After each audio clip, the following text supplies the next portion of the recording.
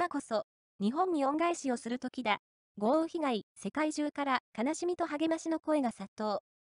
活発な梅雨前線が起こした西日本豪雨により、9日までに各地で被害が拡大し、犠牲者の数は100人を超え、安否不明者も多数出ており、現在でも15府県の避難所に2万人以上の方々が身を寄せています。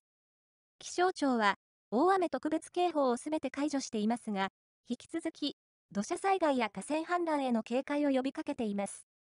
数十年に一度クラスの大水害を海外の主要メディアも大きく報じており、関連記事のコメント欄には、悲しみや哀悼の意を伝える声のほか、日本人の底力を信じる人々から、励ましの声も多く寄せられていました。